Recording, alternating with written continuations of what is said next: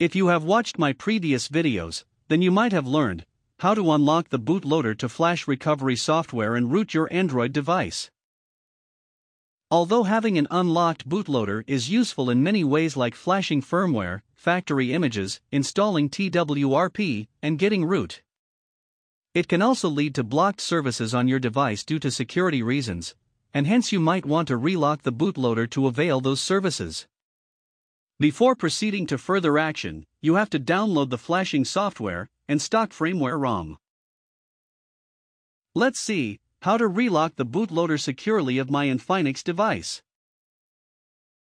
Firstly, download the appropriate firmware ROM by searching on Google.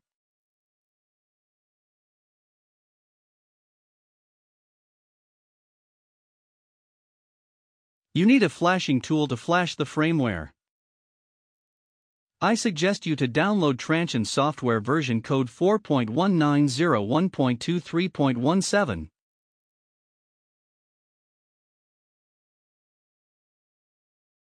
Once you have specified tools ready, then open command prompt by clicking Window plus R and type CMD and hit OK.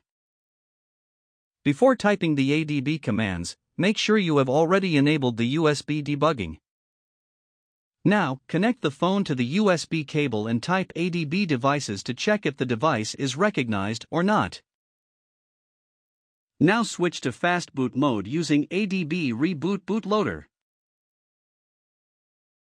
Once the device successfully switched to fast boot mode, type fast boot devices to check if the device is recognized or not. If you get any errors, then update the driver with the previous procedure.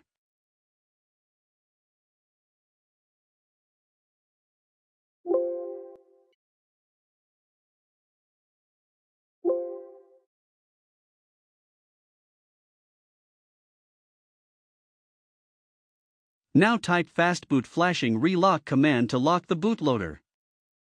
Something mistake as I did. Let me check the help to get the real command to lock the bootloader.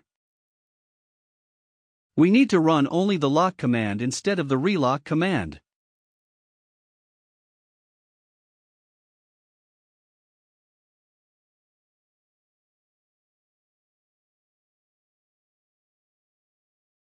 On successful execution, your device system will be crashed and not be able to boot again, or you can say it as the device is dead.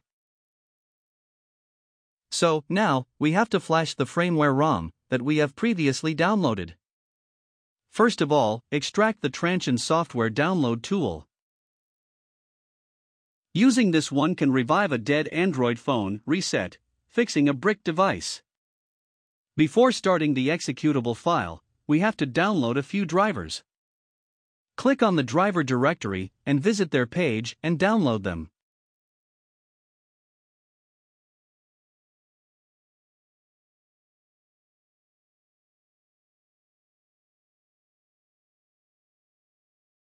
Now install them.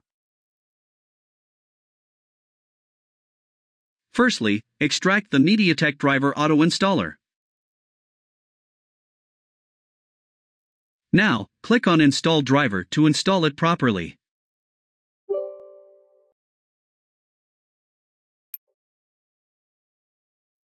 Now go back to the download directory and extract the SPD driver. as I am using Windows 10, so click on that. Now install it.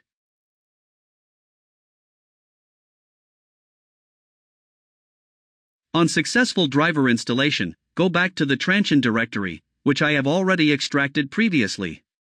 Now double click on the application. Once the application is loaded click on Setting and load the path of the scatter file. Before that, we have to extract the firmware zip file.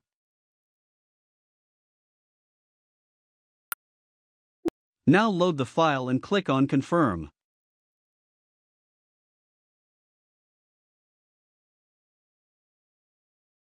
Now, click on Start to start the process. Now plug in your USB cable and you will see the download process.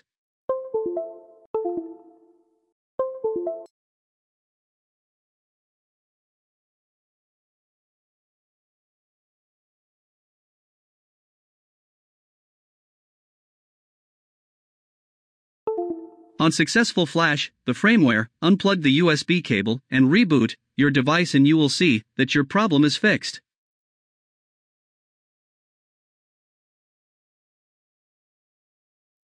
Let's see how to reflash the Samsung stock ROM.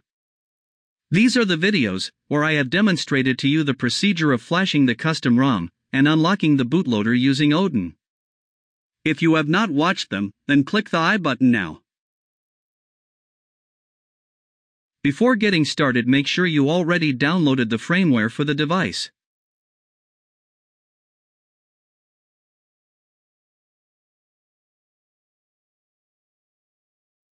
Also, never forgot to download the Odin.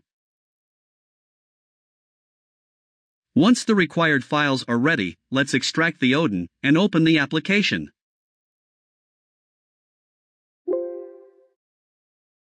Now switch the Samsung device to download mode by pressing the power button, home button, and volume down button simultaneously.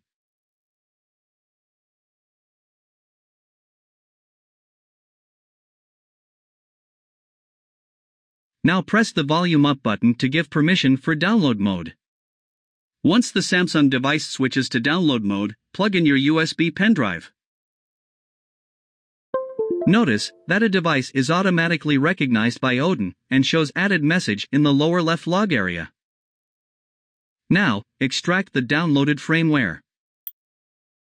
Now go back to Odin and click on AP to browse the MD5 file.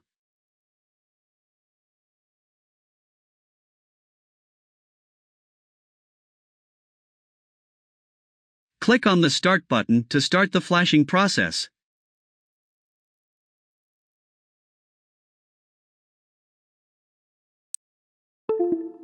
Once you see the green pass message, then remove the USB cable from the device. During this process, your device will restart automatically. In this way, you flash the firmware. If there any problem appears then you have to erase the data from recovery mode.